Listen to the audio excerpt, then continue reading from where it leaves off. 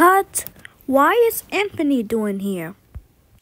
Oh, I'm just here to say it's my birthday. Happy birthday, Anthony! Thank you. Wow, I didn't realize it was your birthday. Have a happy birthday at your birthday party. We'll wait for you to leave the studio and then we'll go on to take 28.